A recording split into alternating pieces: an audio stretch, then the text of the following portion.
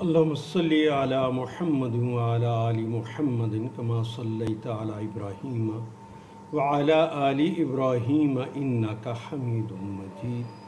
अल्लाह बारिक अला महमद आला आली महमद कमा बारक ताला इब्राहीम वाला आली इब्राहीम इन्ना मजीद।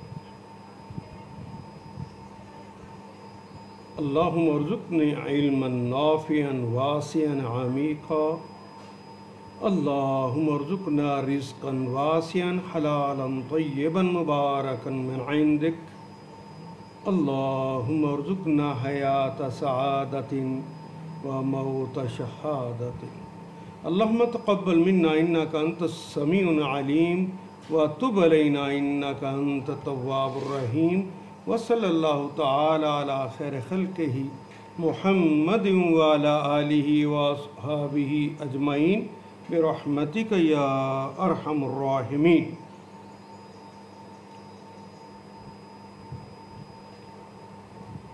आर्या लोगों के हवाले से हमने पढ़ा था कि अल्लाह के बारे में उनका नज़रिया बहुत खूबसूरत और इस्लामी रवायात के ऐन मुताबिक था। वो अल्लाह जिसे ईश्वर कहते थे, उनके बारे में अलबैरूनी ने जो अपनी किताब में तबसरा किया, वो मैंने बताया था कि खुदा के मतलब इब्तदाई ज़माने में हिंदुओं का ये अकीदा था कि वो वाहिद गैर फ़ानी न उसका कोई आगाज़ है, ना कोई अंजाम है, वो मुख्तार मुतलक है और कादर मुतलक है। वो हय्युल है, वो अहकमुल हाकिमीन है और वो रब है। अपनी सुल्तानी में लासानी है, ना उससे कोई मुशाबे है, ना वो किसी के मुशाबे आर्या धर्म की ये जो आर्या धर्म का जो बुनियाद है, वो तोहीद, रिसालत और आखरत थी। यहाँ पे मैंने अर्ज़ किया, जो द्रावड़ कौम आई हुई थी, इससे पहले, वो एक मुशरक कौम थी। हमें उनके बारे में बहुत ज़्यादा मालूम तो नहीं है। मंजो दौड़ो हड़प्पा से जो मोहरें मिली हैं, या जो तहरीरें मिली हैं, वो पढ़ी नहीं जा सकी सही मानों में। तस्वीर से ही कुछ अंदाज़ा लगाया गया है। लगता है कि ये लोग द्रावड़ कौम के ज़ेर असर मुशरक थे।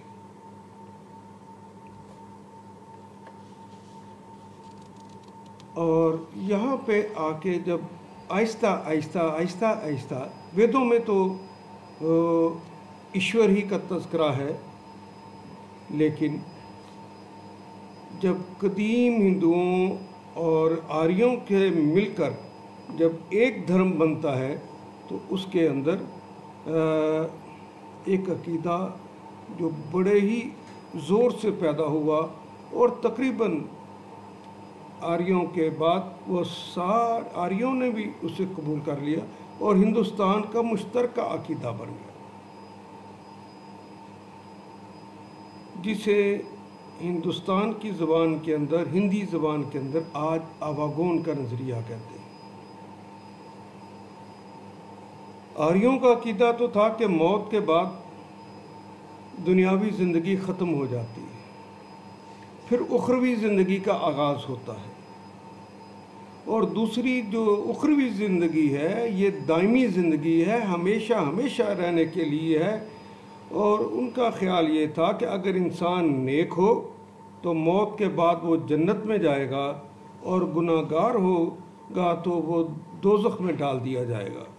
वहाँ उसे, उसके मसाइब भुगतने होंगे जैसा जैसा उसने काम किया होगा।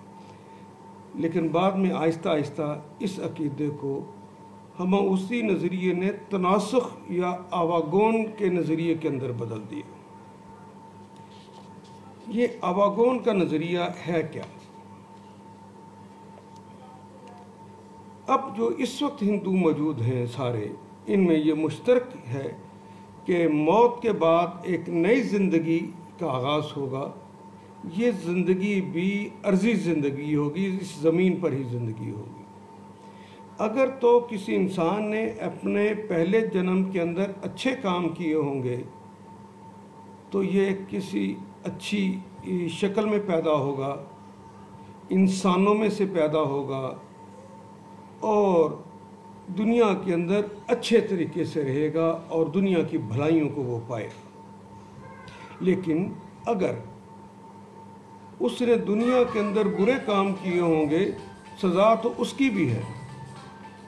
बुरे काम की सज़ा तो मिलेगी, लेकिन इसी ज़िंदगी में मिलेगी। और वो सज़ा कैसे मिलनी है?